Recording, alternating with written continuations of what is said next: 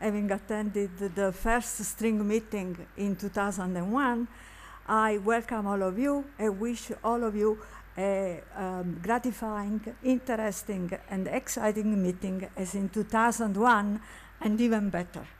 So it is an honor for me to introduce Nima Arkani Hamed from the Institute for Advanced Study, who will give a review talk on the LHC and future colliders. Oh, uh, good morning, good evening, good afternoon, good night, uh, whatever the case may be uh, for your body clock. Um, it's all of the above for me right now. So, uh, um, and um, it's absolutely wonderful to be here in uh, uh, Bangalore again. Um, so the, the organizers um, asked me to talk about um, the physics prospects of the LHC, which is of course just turned back on now, and as, as, as, we'll review in this talk, this is probably the most exciting two to three year period of the uh, entire running of the, uh, of the LHC. Also, perhaps say something about um, uh, prospects for what might come uh, beyond the LHC. so, um, so let's start with some uh, super basics. so the LHC, so of course you all know all of these things. This is officially for the students, you know. So um, so, um, but the, uh, so the LHC is a proton-proton collider. It started at uh, center mass energy of 7 TeV, went, went to 8 TeV, and the upcoming run now um, is at 13 TeV. Maybe it'll go to 13 and a half, uh, 14 TeV uh, eventually. Um, the luminosity is around uh, 10 to the 34 per centimeter squared per second. And the way to convert that into uh, an actual number of events for any process is you take the luminosity, you multiply by the cross section. So that, that gives you uh, an event rate. Now, units, um, uh, we're colliding protons at the LHC. The uh, proton has a mass of, of, around 1 GeV, a size of around 1 GeV inverse, which is 10 to the minus 14 centimeters. The TeV scale is around 10 to the minus, uh, 17 centimeters. Um, uh, perhaps let's just say that I'm, I'm, going through some of this because a long time ago I remember a, a relatively eminent mathematical physicist uh, um, was very excited about the possibility that the string scale might be at a TeV. And he said, TeV, that's amazing. That, that, that's a millimeter, right? so, uh, so anyway, it wasn't a string theorist, don't worry. That, uh, um, but um, uh, now, the, the, the, typical units in particle physics is this historically named barn, which is around 10 to the minus 24 centimeters squared. And the rough size of the proton, the, the, the total cross-section when you collide two protons together is around the size of the proton squared, is around 10 to the minus 28, minus 27, 10 to the minus 28 centimeters squared, and that's around a millibarn. Okay, so that's the that's the just the size, the raw size of colliding two protons together gives you a cross-section of about a millibarn. Now, the typical cross-section when you're colliding particles with a center of mass energy around a TeV with the strong interactions, the typical cross-section is around alpha strong squared over a TeV squared, and that's around 10 to the minus 36 centimeters squared. So that's the sort of going rate for interesting hard processes from the strong interactions at the LHC. Um, that's about a picobarn. Okay, so, so those are the numbers that you're going to hear for cross sections from the LHC. Picobarn, uh, um, femtobarn, which is one one thousandth of a picobarn. So here, so here we start from the millibarn, which is the total cross section, microbarn, nanobarn. I hate SI units. I can never remember what they are, but anyway, here's picobarn. And femtobarn, to barn, which is 10 to the minus 36 to 10 to the minus 39 uh, centimeters squared. Those are the typical LHC cross sections. And here are the kinds of event rates that we're talking about with the, uh, with the luminosity. So the total number of events is around a billion events per second. Uh, TT bar is maybe around 10, 10 TT bar per second. So back in 1994, 14 top quarks were produced, and that was enough to qualify for a discovery.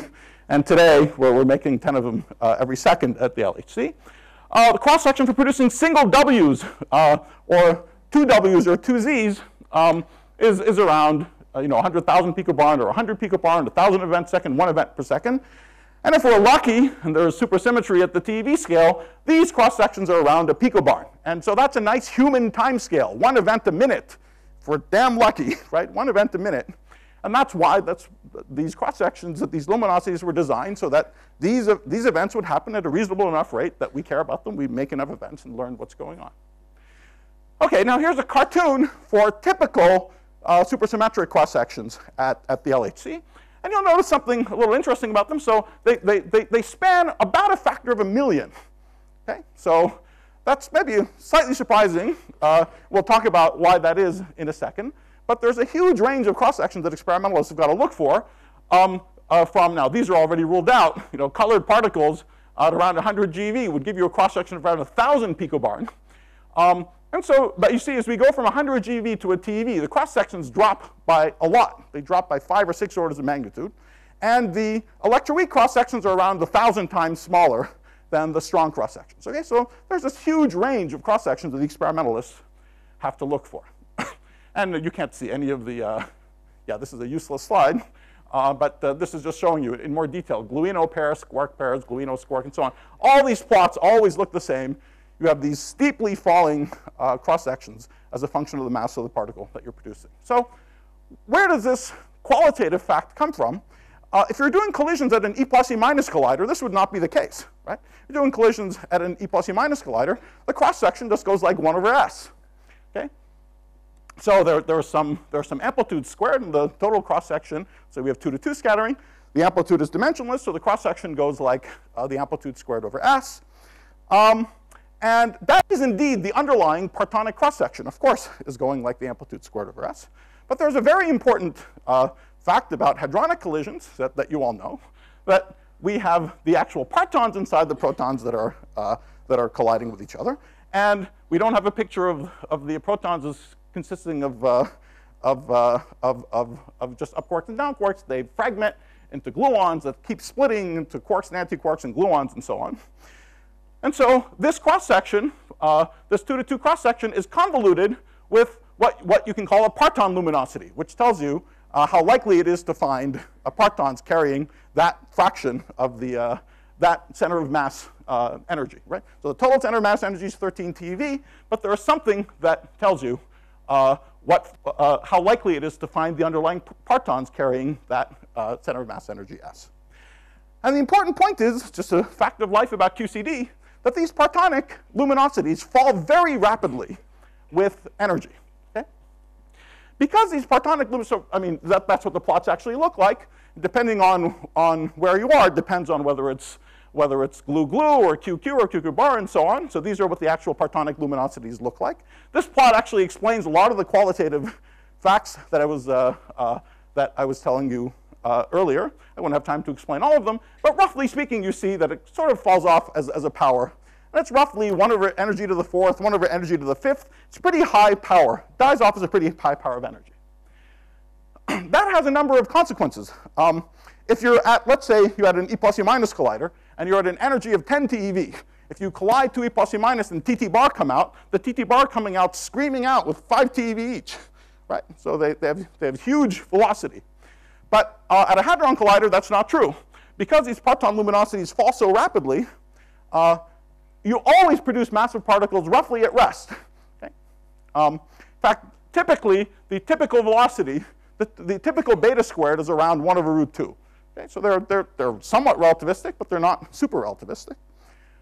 And this means that the actual cross-section is this thing that we expect on general dimensional grounds. But uh, so now at a, at a fixed mass, the actual cross-section is what we expect on general dimensional grounds, but there's a dependence on the center of mass energy that goes roughly like E center of mass over the, over the mass of the particle to roughly about a, a power of 4. That's why it's such a big deal. You know, when you think we go from 8 TeV to 13 TeV, why is it such a big deal? Doesn't, doesn't sound like such, such a big deal. Even when you go from the Tevatron to the LHC, why is 2 TeV to 7 TeV such a big deal, 13 TeV such a big deal? It's because of these large powers. Uh, the actual rates can get bigger by about a factor of 50 uh, if you just go up in center of mass energy by about a factor of 2. And so um, this tells us why, in the upcoming run of the LHC, maybe I forgot to say this earlier, but we're talking about the, the total luminosity that this next upcoming run of the LHC is going to gather, probably by the end of 2017, is around 100 inverse femtobarn.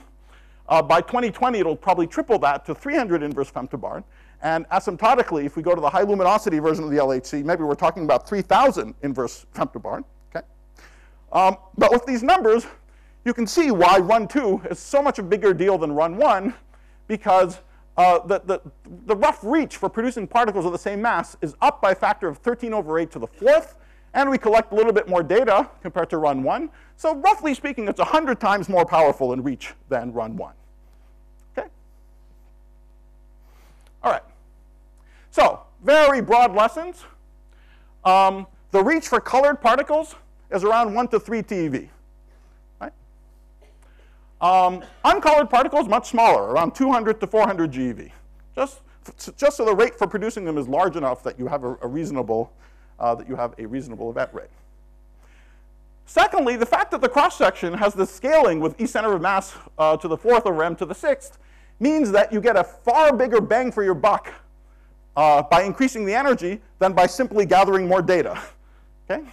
So that's why every time at a Hadron Collider, you go up by factor of energy, the first year or two of running is the most exciting time. But that's where you get the biggest uh, increase in reach, and after that, it's after that it's just root n if you're lucky, right? Uh, you might be systematics limited, in which case it's not even that. Okay, but here, this is where you get the uh, this is where you get the biggest bang for your buck early. And so that's why this period that we're in now will be by far the most exciting period of the LHC uh, for discovering new particles. And so in order to illustrate that, uh, we did a little exercise. Uh, this is with um, uh, one of our wonderful postdocs at the Institute, Rafael Tito D'Agnolo, um, just to illustrate uh, this point and give you a rough idea for what we might be expecting in the next, uh, uh, in the, by the end of the summer, by the end of the year, and by the end of the run. we're just going to go through various various possibilities for new particles and illustrate what we might know on all these different timescales. So let's start by talking about um, uh, gluino pair pair production. So, so here the process is just the uh, QCD production of, of uh, gluinos. Um, so, and, and what we're starting with here is what the limits are right now. Okay, the limits from run one.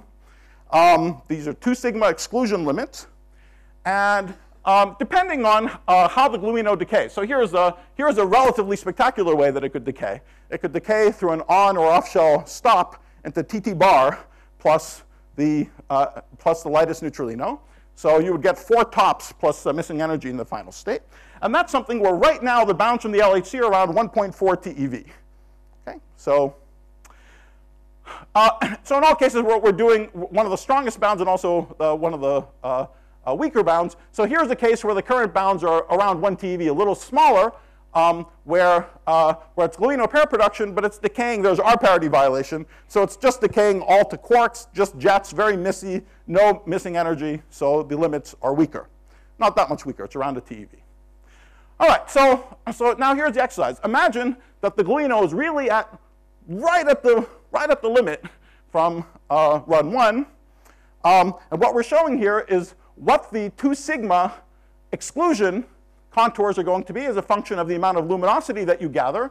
And here is, roughly speaking, the timeline that would correspond to that amount of uh, integrated luminosity. So by the end of the summer, we'll have maybe you know, a few, uh, uh, two inverse femtobarn, few inverse femtobarn. By December, by the end of the year, uh, we'll have around, between the uh, two experiments, 5 plus 5, around 10 inverse uh, femtobarn.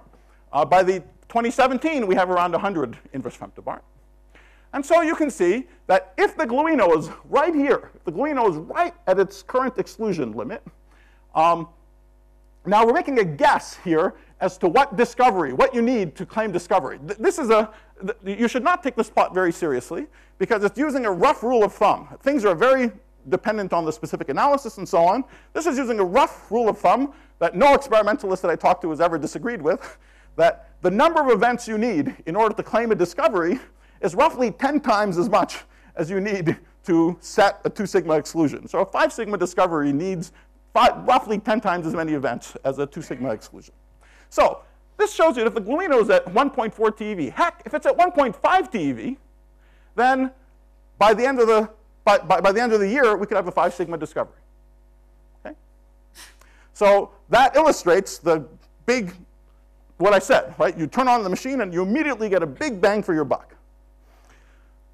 On the other hand, of course, this is also the, the, the exclusion goes up. So by, so by, already by, uh, by, by the end of the summer, we'll, we'll be going from 1.4 to 1.5 TeV. By December, we'll be at around 1.7 TeV for 2 sigma exclusion. Okay? Now, on the other hand, these plots also illustrate the flip side of this, which is, let's say we haven't seen anything. Let's say we haven't seen anything. We're setting 2 sigma exclusions by the end of this year. Okay? So if the gluino is there, you can ask, when will you see a 5 sigma discovery potentially? Well, for that, you've got to go all the way to 2017 in order to see a 5 sigma discovery. So that's still possible. Excitement is still possible. Even if there's exclusions at the end of this year, it's still possible to have 5 sigma discoveries by the, uh, by the end of this run. Now let's say by the end of this run, you're setting 2 sigma exclusions. And now you see where the trouble begins, right? So by the end of this run, we're setting 2 sigma exclusions. Then we are really going to have to start going out into the humongous amount of luminosity in order to be able to see 5 sigma discovery. Okay, so that's just illustrating the extremely simple point, um, uh, but a little more, uh, a little more concretely. And so here's what it is. All the pictures are going to look like this. Here's what it is in the case of, uh, uh in the more difficult case where the limit is already is, uh, is less than about a TeV. But again, by the by the end of the year, the limit will be at one TeV. Could be discovered. Uh, anyway, it's it's exactly basically the same story. All right, so we'll go through the rest of them a uh, we can go through the rest of them a little bit more uh, rapidly. So, so here's a story for stops. And here again, it's direct stop production. So stops are important because they're the most important uh, particle in supersymmetry for making the theory as natural as possible because the largest uh, quadratic ultraviolet sensitivity of the Higgs mass comes from a loop of the top quark. And once again, it's the same story. So right now, if you have a very vanilla a kind of uh, model where, uh, where, where you're producing tops that stops at the to top plus a much lighter uh, neutralino, then already the limits are around 700 GeV. Um, uh, once again, if it's decaying in a messy way through R parity violation or some other hadronic way without much missing energy, the limits are pretty crappy right now. Okay? Um, in fact, the stop today could be at 200 GeV, and we, we, we, we might not know it if it decays in a sufficiently complicated way. Okay? But again, it's not going to hide forever. Okay? So once again, if the stop is right at the current limit, we can have a 5 sigma discovery by the end of this year, and, um, and it's basically, basically the same story. Now, um, uh, here's a uh, uh, slightly different story. Um, so we might imagine that, in fact, uh, all the squarks are roughly degenerate. That was a picture that, that was very attractive uh, a long time ago. Um, and uh, the only reason why people talk about it a little less now is, uh, is that there are strong limits for the production of gluinos and the first two generation squarks, um, which already push you above a TeV. So if the stops are degenerate with the light squarks, then that would already be pushing you into somewhat fine-tuned territory as far as the stop is concerned. But still, maybe things are just a little bit fine-tuned, 10%, 1%, a little bit fine-tuned. So let's say all the stops are roughly degenerate. Then once again, here are the current limits for everybody, so here it's in the case where really the gluinos and the squarks, everyone is the uh, degenerate. Current limit's around 1.5 TeV. Once again, exactly the same story, but asymptotically we can get to around two and a half, maybe three TeV. So this is the other obvious thing that you've seen in all these plots. We are not, we're increasing our reach on the particles by about a factor of, about a, about a factor of two, okay, a little more than two. Okay, so that was for the strongly interacting particles. And now this, this illustrates uh, uh, all the qualitative facts. Now for the weakly interacting particles, let's say we have, uh, we're directly producing Higgsino. Uh, so all the scales here are a lot lower. Now we're talking about hundreds of uh, GeV rather than uh, 2, 3 TeV. and here again, these are the relatively easy cases where you produce Higgsino, charginos. They, they decay to W, Ws and neutralinos or WZ and neutralinos, and again, so so you see what the what the uh, what the reach is uh, is going to be in these two cases. A very similar story for the winos. Again, you produce the winos and they decay to the lightest neutralino plus uh, uh plus the missing energy with W's and Z's.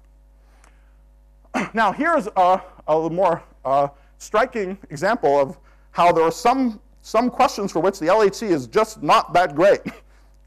Um, and uh, so this is a, a, a, plot made by Lian-Tao Wang, who's been studying these things. We'll see similar plots when we talk about 100 TeV colliders later.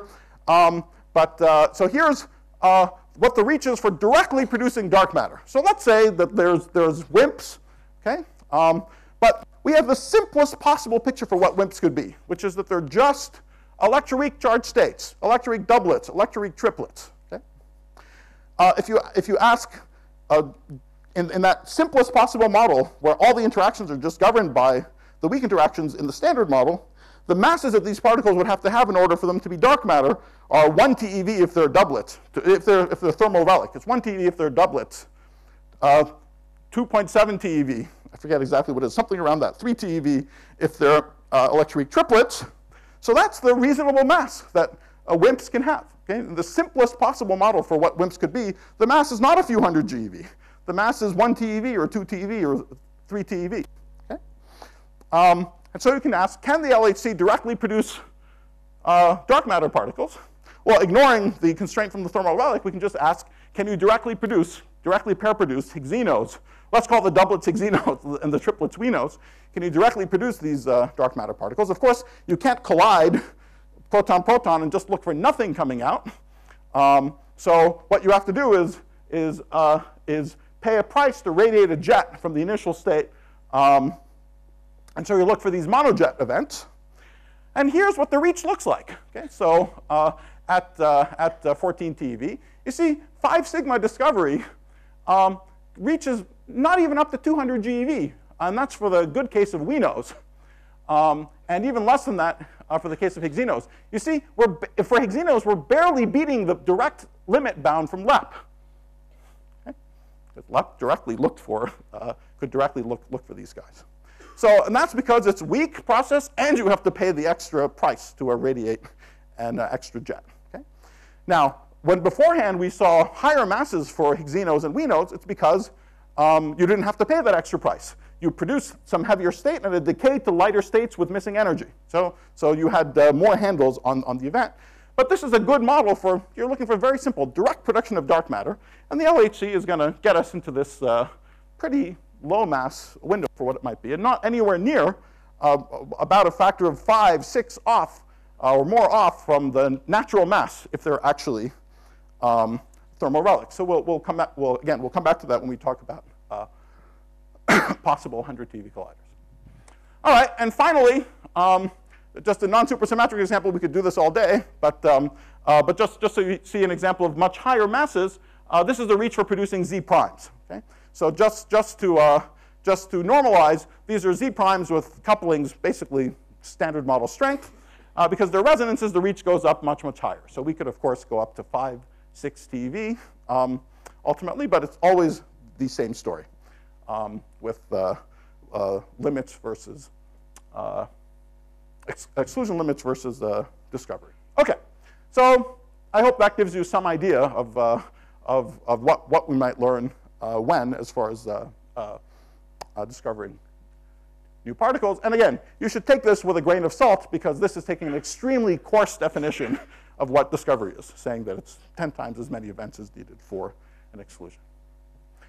Okay, now something that everybody asks is, aren't there all kinds of little 2 sigma anomalies going on right now at, at, at the LHC? Aren't there all sorts of little hints? And of course, anything which is a little hint sitting there, 2, 2.5, 3 sigma, if these hints are sitting there, then these things are poised to very rapidly turn into 5 sigma, right? Um, and in fact, there's, I mean, if you count all of them, there are maybe six or seven, uh, all told, all possible anomalies. They're almost all completely unbelievable. Um, uh, and in fact, uh, some, some experimentalists did a nice study to do a statistical study of the number of 2 sigma to 3 sigma excesses that have been reported by the experimentalists.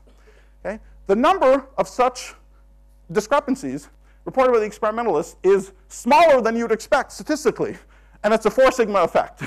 okay? and so uh, there's probably a theory for it. As theorists, we can probably come up with a theory. The theory is that experimentalists don't release their 2, 3 sigma excesses. They, they, they keep them close to their chest, probably for decent reasons. Um, and there's other possible explanations for it. Anyway, we, we can talk about it later. So, so uh, there, there's probably more of these anomalies than meet the eye. The experimentalists probably know, about, know more about them than we do. But once again, just for the sake of the argument, I just want to give you an example of some anomaly to watch. This is something that we'll all be watching. I mean, I don't believe it for a second, but it's something that we'll be watching um, because it's something which Atlas sees, CMS sees. If you're put on extraordinarily fuzzy goggles, it looks roughly the same between Atlas and CMS, and it's around two and a half sigma for both Atlas and CMS.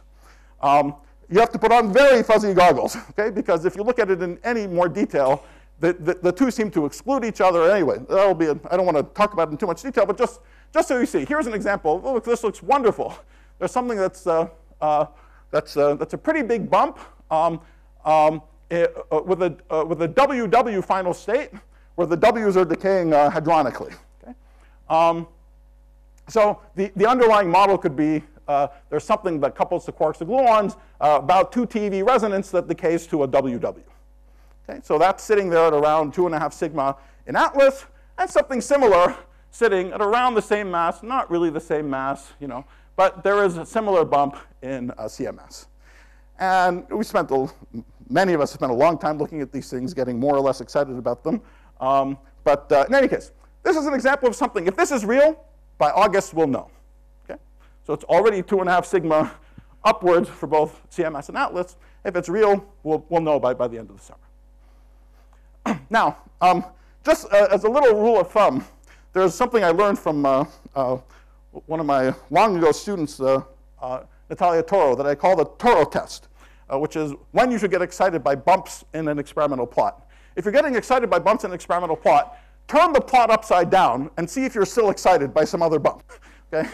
If you are, you shouldn't be so excited about the one that you're excited to begin with. So, so the atlas definitely passes the Toro plot. Well, not so much for that one. Okay? Um, so anyway, that, uh, I don't take this very, very seriously. But in any case, there, there may be more things like this that the experimentalists know, so it's possible that things will just come out of the blue um, uh, already very, very rapidly, and, and, and we'll know about them.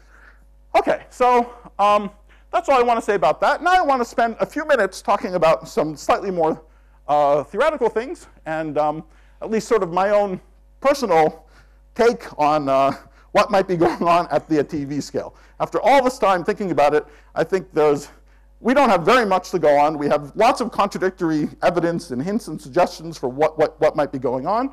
But uh, there's, a, there's a picture that uh, I've liked for a very long time, and I just want to quickly talk about it. It'll partially also give a nice segue into the next topic that I want to talk about. So, important question. Should we be worried or depressed right now uh, by the fact that we didn't discover supersymmetry in run one. Okay? So this is a, an, an obvious question, or any other natural physics, but we all like supersymmetry the best. And uh, I have to say, I found that the, reaction to the absence of supersymmetry in run one, not by string theorists actually, really by many of my phenomenological colleagues, to be very puzzling. Because uh, at least my own attitude about it uh, for a while has been that I'm not much more worried about it than I was before run one. That's because I was already a little worried about it. Okay? And there's already reason to be a little worried. Maybe not tremendously worried, but there's reason to be a little worried about it, um, uh, given the fact that supersymmetry wasn't discovered at LEP2 already. See, it's not like everyone was totally convinced it's obviously true that low energy supersymmetry was dead right, uh, and that it was only run one that poured cold water on all of our hopes and dreams. It was many phenomenologists looking at what we were learning, uh, even before the LHC, uh, thought that we should have seen supersymmetry earlier.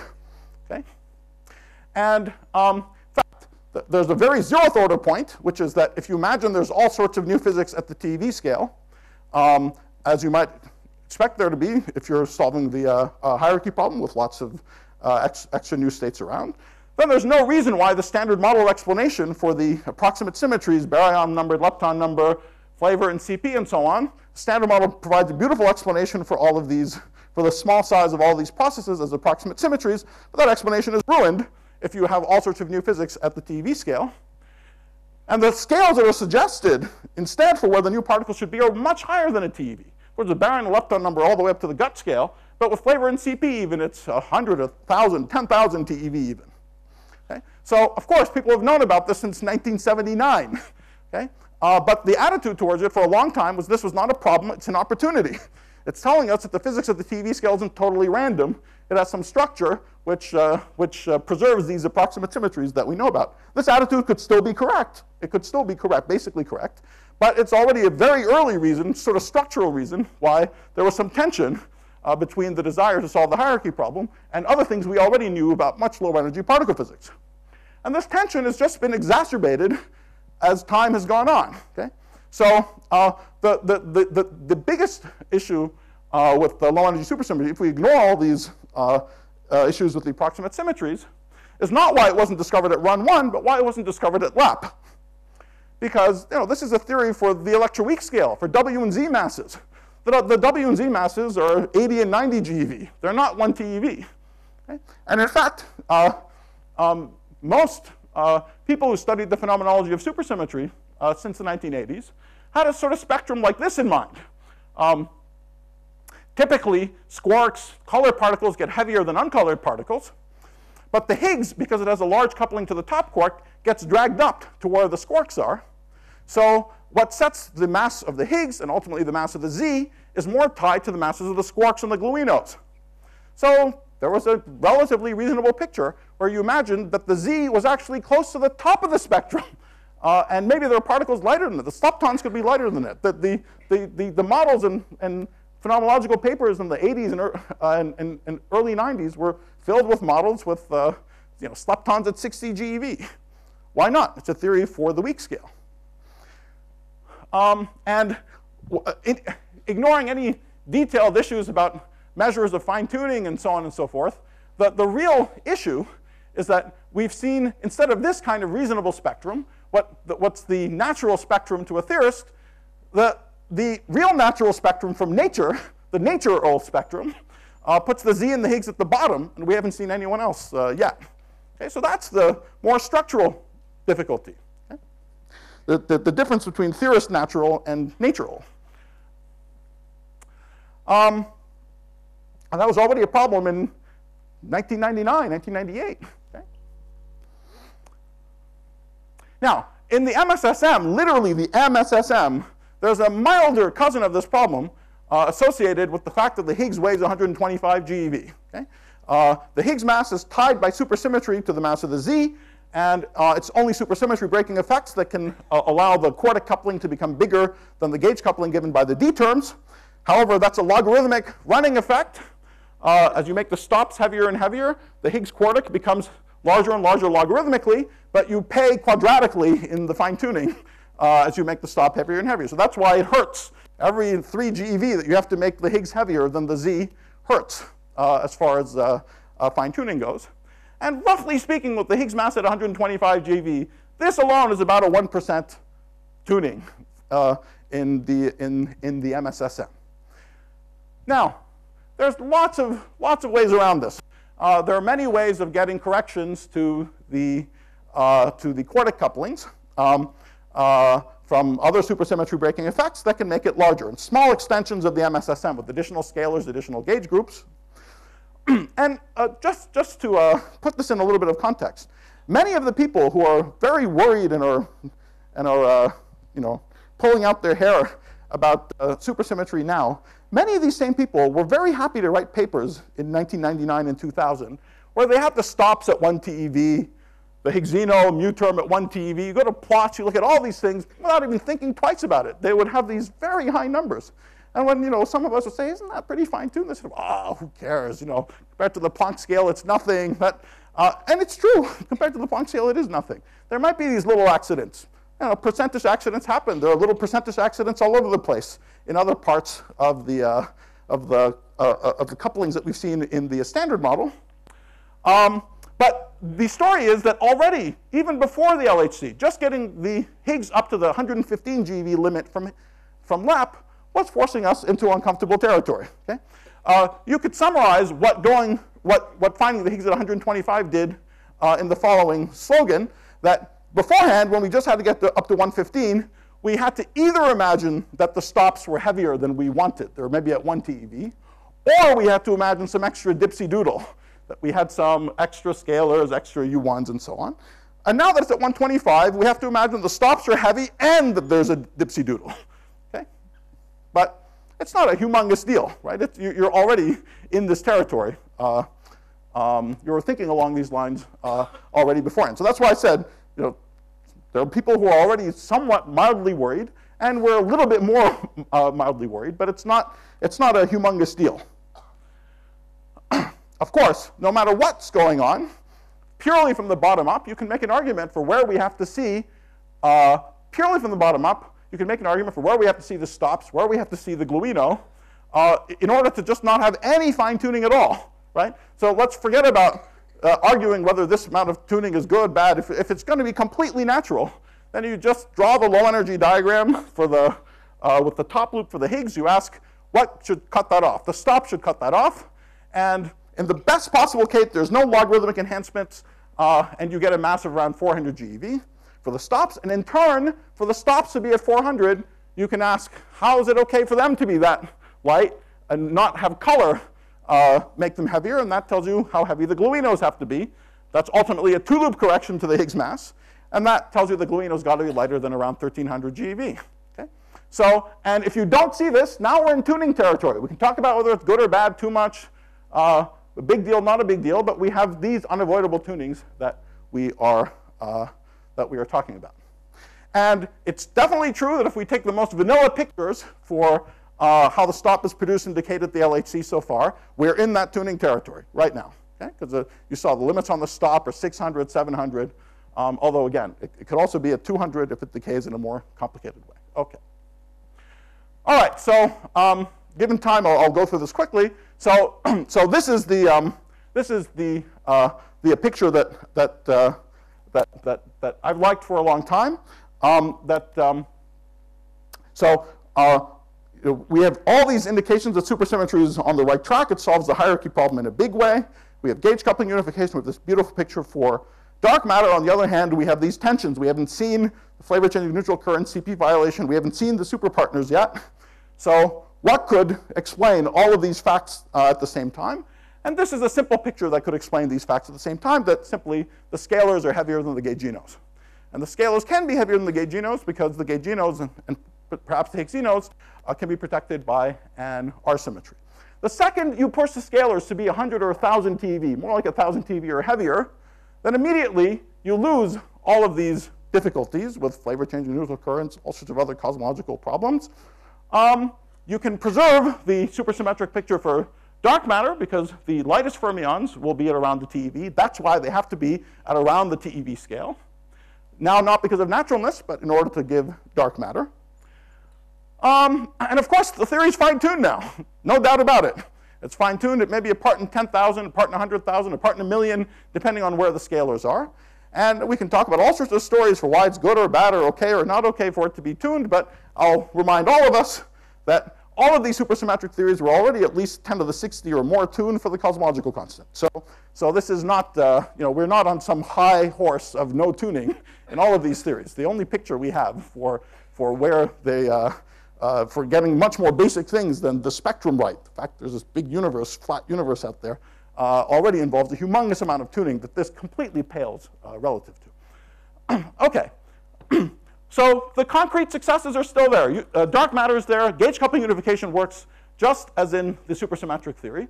Um, uh, in fact, it's slightly better. I'll, sh I'll, show you a plot in a second. And this is just a quick theoretical point that uh, a one-loop splitting between the gauginos and the scalars is very simple and sort of ubiquitous, easy to get in lots of uh, ultraviolet theories of supersymmetry breaking. I think this kind of spectrum is what really simple, dumb theories of SUSY breaking want to do, simply because it's easy to break SUSY and a little bit harder to break R after you break SUSY. Okay, so this is a simple kind of spectrum. Lots of people ran into it in building supersymmetric uh, models of supersymmetry breaking. They threw the spectrum out because it wasn't natural. But we can take this uh, different attitude if there's something else dealing with these uh, tuning problems, even without saying the A word or talking about the multiverse or the landscape. If there's something else which is uh, taking care of them, then maybe we should just let supersymmetry breaking models do what they want to do and see what happens. Okay?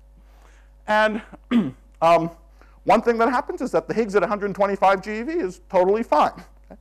Um, in fact, this picture with this one loop splitting the scalars between 100 to 1,000 TeV predicted that the Higgs should be between 120 and 135 GeV. And so 125 is perfectly fine. So you can have scalars up at around 100 or 1,000 TeV and have the Higgs uh, uh, at 125 with the, with the uh, tan beta at 2 or 4, some reasonable order 1 number. Uh, you could imagine that the stops are much lighter. They're at 10 TeV uh, if tan beta is big. Okay? But if there's no big or small numbers, you're not doing anything, well, it's happy with stops at 100 or 1,000 TeV. Okay, and gauge coupling unification, as I said, works just as in the supersymmetric theory. In fact, in detail, it's slightly better. Um, if anyone followed uh, the story of supersymmetric gauge coupling unification, uh, you knew that at zeroth order it's wonderful, but when you look at two-loop corrections, um, you find that things are a little bit off. And the usual response to this was to imagine that there was some splitting of states up near the GUT scale with triplet Higgsinos, maybe a factor of 100 lighter than the GUT scale, which had uh, it's not the most wonderful thing, but anyway, it's, uh, it's, certainly possible. And so here, exactly the same thing is eff effectively accomplished by pushing the Higgsinos up around 100 times heavier than the weak scale. So uh, the prediction for alpha acid MZ, if the Higgsinos at around 100 TeV, is 115, okay, which is 118 is the, uh, is the current value. Um, versus 128 in the normal supersymmetric picture. Anyway, so, um, so that's, uh, that's, that's a picture some of us have, have liked for a while. But I go through it just in order to illustrate it's possible that these old successes were not accidents. Um, it's possible that, there, that, uh, um, that there's a slightly different uh, picture of low energy supersymmetry at work. But once naturalness is not the motivation anymore, we're not guaranteed to see the particles at, at the LHC. We could see them, but we're not guaranteed to see them at the LHC. So for example, we can pair produce gluinos. They can decay in this wonderful way to a TT bar plus a Higgs plus missing energy. Very spectacular final states, 8Bs, 4Ws, all sorts of uh, very, very hard to miss. Um, uh, if the scales are heavy enough, the gluino decays could even be slightly displaced. They're, they can be long-lived. But um, we might have a picture where the dark matter is a simple thermal relic made out of these winos or binos, and it could be down at 1 TeV or 2, two or 3 TeV. That's the bottom of the spectrum. The top of the spectrum, the gluinos could be at 10, 15 TeV. Okay? Then forget it. We're not going to see that at the LHC. I should say that we can't imagine that we push everything 10 times heavier than that, because then the Higgs mass comes out to be too big. Okay, um, okay so that, that, that's LHC invisible, but of course, we could be lucky. The gluino could be lighter. The dark matter could be in more interesting linear combination of these states. And then it could be also LHC wonderful. So once we lose naturalness as the motivation, if it's just other direct physical things like dark matter, then, you know, then, then the LHC is not the dark matter machine.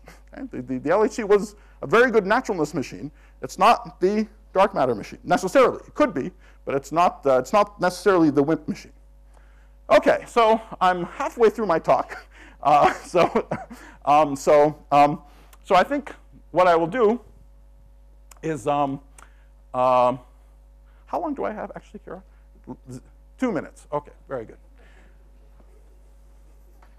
That's very interesting. So, uh, okay, so, um, um, all right, that, then, then I think uh, what, what, what, what I wanted to do was uh, spend a little, a little bit of time telling you about um, uh, motivations, physics motivations for going beyond the LHC. Uh, as you all know, thinking about and planning for these next big machines is a two or three decade long process. And if we're going to have something after the LHC, um, uh, we have to start thinking about it now and start planning for it now. Um, and uh, so I'm not going to have time to uh, tell you all the physics uh, motivations. Um, but uh, I should say that, of course, there's already discussion about building a big linear collider in Japan, which would be absolutely wonderful. Um, but in order to get, eventually get to the energy frontier, we'd like to have a circular collider. And so there's lots of discussion, both in Europe uh, and also in China, about the possibility to build great big circular colliders around 100 kilometers around, um, and to first uh, run it in a mode where you collide electrons and positrons to produce millions of Higgs particles and study the properties of the Higgs in great detail. Um, and um, then to uh, move on to 100, ultimately around 100 TeV uh, proton-proton uh, collisions and get us to the energy frontier. And perhaps I don't have any time to talk about the, the detailed uh, case, but, uh, but maybe uh, I, will, I, I, will say this much. Um, the main physics motivation behind these machines Uh, we don't know what there's, of course, biggest motivation is we don't know what's at the frontier. We want to go there and see what's going on. Um, but the more direct, concrete motivation um, is that we've seen something totally new. Uh, often people say that unless we see new physics at the LHC, we're screwed, you know, we're never going to build another machine, we'll never convince government, blah, blah, all sorts of stuff. Um, and it's a very sloppy argument. It's a very sloppy argument because it has a conflation in it, which is that new physics equals new particles. And new physics meant new particles 50 years ago. That was in the glory period of particle physics, that was true. But incredibly important things like the fact that there's no ether. Okay, this is a humongous fact, a very important fact, did not involve discovering a new particle. What we really care about isn't new particles. What we really care about is new phenomenon and, and new principles.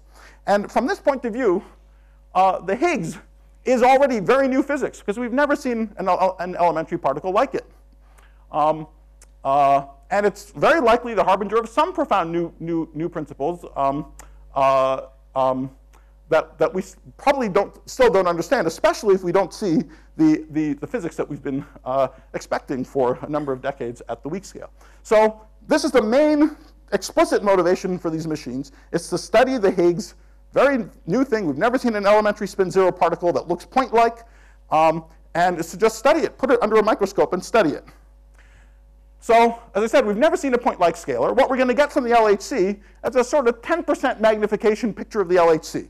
Okay? So that means that we'll measure the couplings of the Higgs to other particles like Z's and other, to around the 10% level. That's sort of literally like putting it under a microscope, not a photon microscope, for example, but a Z microscope, um, bouncing Z's off of it, or looking at how it decays to Z's, with 10 times magnification. That's good. If it looks point-like at that level, it already shows that it's not some big fat composite state. But you know, pions are roughly that big.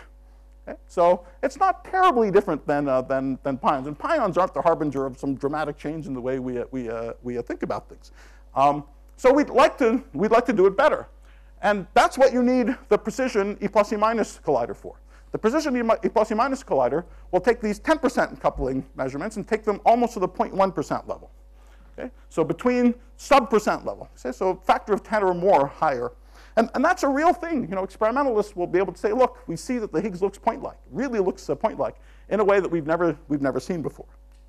So that's the motivation for the Higgs factory. And there's something else which is really unique about the Higgs. No other elementary particle can interact with itself. Of course, we say gluons self-interact, gravitons self-interact, but in more detail, you're always changing some quantum number. You're changing the color quantum number. You're changing helicities. Okay? Um, we've never seen the most basic possible process in quantum field theory, which is the self-interaction of a single, cubic interaction of a single uh, state. It's uniquely only possible for a spinless, chargeless uh, particle. And so this triple Higgs coupling uh, tells you that not only does the Higgs look point-like to other things, it looks point-like to itself. And the LHC won't even be able to tell us if this coupling is there or not. So these are things that you know, we don't have to wait. We already know that uh, the LHC isn't going to give us an answer to the question of how point-like the Higgs looks. We already know it's not going to tell us if it couples to itself. But a 100 TeV collider will make a billion Higgses, and will make these, uh, uh, well, this will, th these processes will happen at sufficiently high rates that people are debating what the accuracy is, but the, the accuracies they're talking about are in the 10%, 5% level for a measurement of that uh, triple Higgs coupling.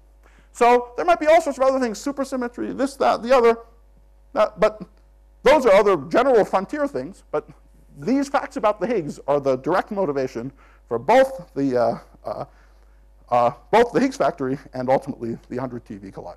All right, so that's all I'll say about it. Doom, doom, doom, doom.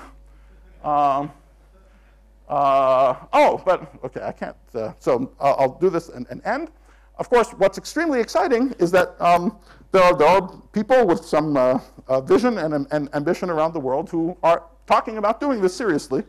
And what makes a particle physicist happier than anything is a picture of a map of some region of the world with big circles on it. Okay? so, uh, so here's the area around uh, Geneva. There's the LHC, and this is the ring that they're talking about, 80 to 100 kilometers, go under Lake Geneva. Um, and uh, and uh, at CERN, this project it goes under the name of the FCC for Future Circular Collider. There's lots of important and great efforts that are underway to study that. And same kind of maps exist in China. So this is a, an area around 300 kilometers northeast of uh, Beijing. Um, uh, I'm told that it's very beautiful. The Communist Party officials go there uh, for their summer vacations um, as rolling hills. It's very lovely. And there are these rings on the ground, 50 kilometer ring, 100 kilometer ring. Um, and, um, and it's, being, uh, it's being seriously talked about. Uh, a, a, large group of people spent uh, a good part of last year putting together uh, what's called a pre-conceptual design report for this machine in China. If you're interested, you could go uh, to the website of the Institute for High Energy Physics in China, where both the sort of physics case as well as the accelerator and detector part of this conceptual design report is publicly available.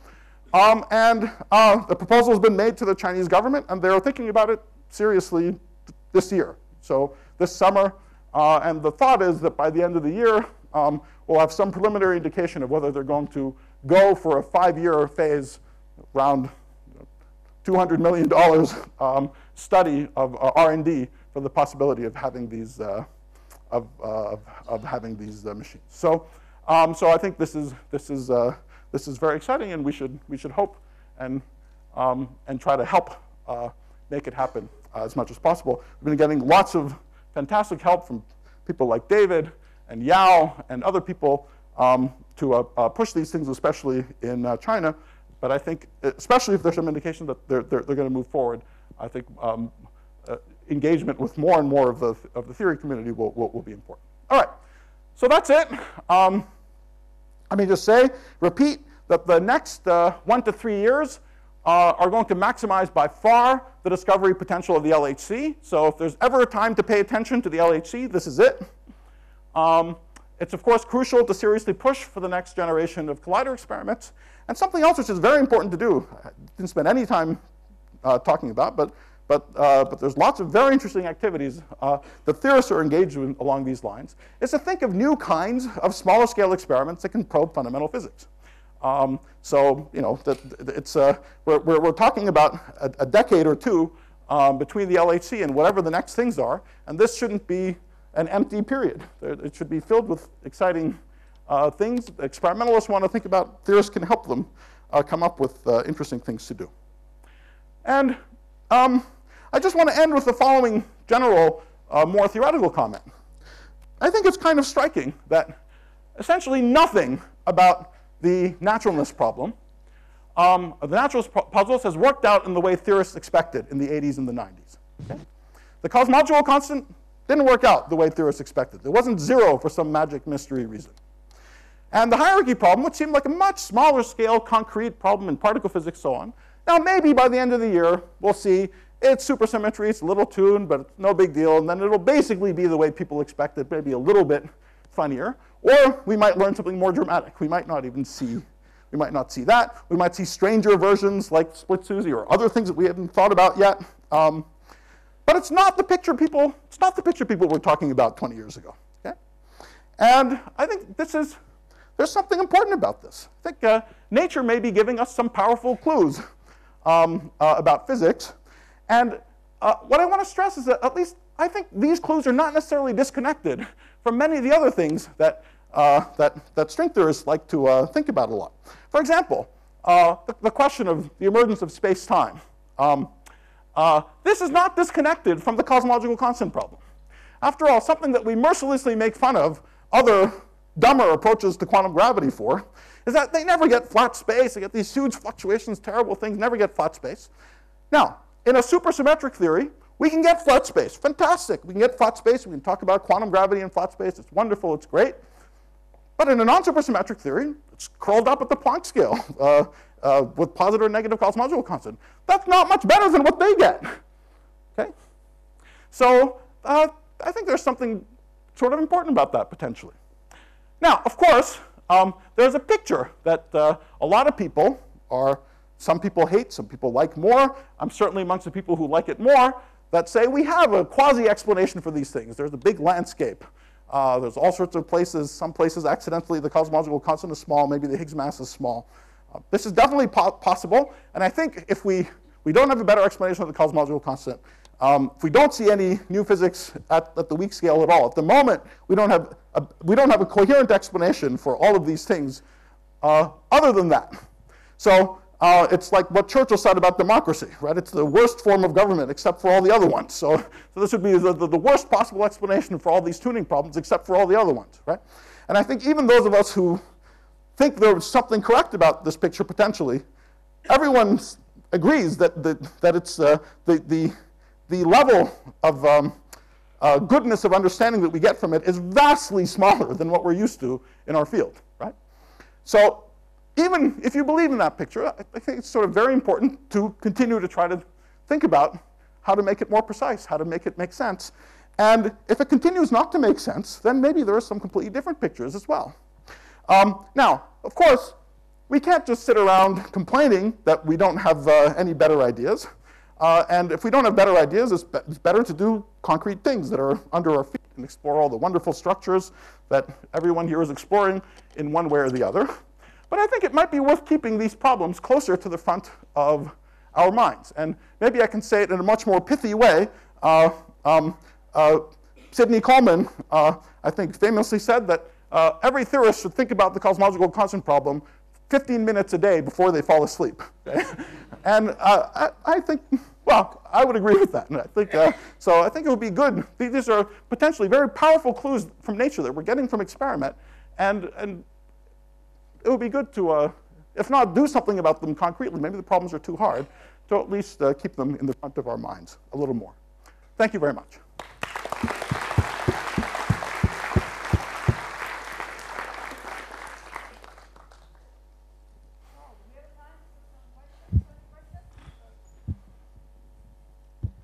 Yeah, uh, a couple of times you said the stop could be as light as 200 GeV yeah. if it decays in a sufficiently weird yes, way. Yes, yes. So what is this weird? Well, it, it, it, could be so light that, uh, that it can't decay to a top.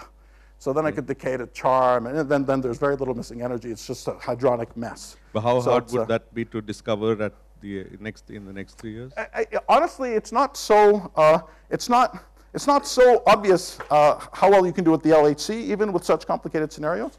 Um, but had I gotten to uh, actually talk about it, um, uh, part of the nice thing about having these E plus E minus machines is that completely independent of hadronic muck, mm -hmm. they can probe the stops up to a TeV. Totally independent of hadronic muck because they affect the couplings of the Higgs. Okay? Their, their entire point is to, is, to, is to talk to the Higgs, and so they change the couplings of the Higgs uh, to the Z. They change, even on the Z pole, they, they observables. We go back to the Z pole and get a factor of 10,000 or 100,000 more Zs than we got at LEP. And uh, so, yeah, so that's one nice thing about the plus or minus machines, that they just completely kill all of these uh, weird, weird possibilities in a very model independent way.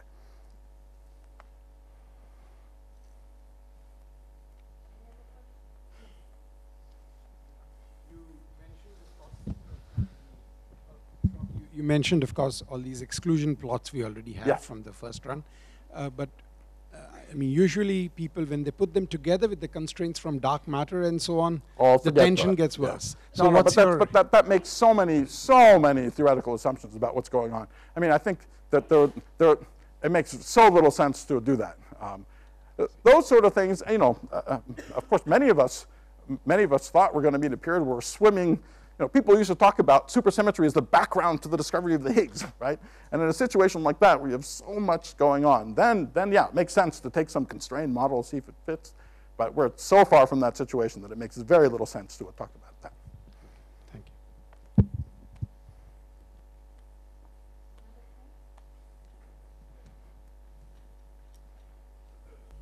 You mentioned the three-point coupling of the Higgs and in general the interactions of the Higgs as really interesting things that we could um, learn about at the at the next uh, collider. What are the if we aren't lucky enough to see supersymmetry at the next run at the at the LHC? Yes, what yes. are what are the interesting? Oh yeah, so so supersymmetry. You see that so low energy supersymmetry cannot hide. So maybe I'll use this. Thank you, Andy. You're a good no, friend. But, but wait, so but suppose uh, we don't see it. What is the most? Suppose we don't see it yes. at the next run. What is what is the interesting things we should be looking? Well, you see, the, the, the, uh, you, you, we should always be looking for it. Uh, uh, even if we don't see it at all at the LHC, supersymmetry would be maybe a percent tuned. Okay? then we can talk for ages about whether it's good, bad. I can pull out 10 examples, okay, not 10, but two or three examples of other things where accidents like that happen. Uh, compared to the huge hierarchy problem, it's nothing. So we could just be unlucky and miss it. But, um, but, uh, uh, but if we go to 100 TeV, we don't see any, any super partners. Now we're talking about a part in 10,000. Uh, it's, it's different. It's 100 times worse. So, so, but if we're, if we're unlucky, if supersymmetry is really around the corner, we can see super partners up to 10, 20 TeV at the 100 TeV collider. So it's, uh, we, we, we, there's roughly my question was, yeah. suppose we just don't want to think about supersymmetry. Right. What, what, what are the interesting things that we might see, that we might learn from, from the next run at the LHC? Oh, sorry, from the next run to the LHC. Yeah. Sorry, I'm sorry. Um, oh, well, so uh, supersymmetry, first of all, is just one stand-in, uh, just the most concrete stand-in for every possible uh, natural theory. Okay? So it might not be supersymmetry. It might be a composite. The Higgs might be composite. It's slightly, theoretically, a little bit more boring, but something we've seen before. Pions exist. They're a little, they're more point, they're not a big fat object. They're, they're, uh, um, uh, they're a little bit elementary. Um, and um, so, um, yeah, so it could be a composite Higgs, and so you could, you could look for that. You could look for resonances that, uh, that, that, that couple to the Higgs. Up to, as you, as you saw, the resonance reaches up to maybe 3, 4 TeV.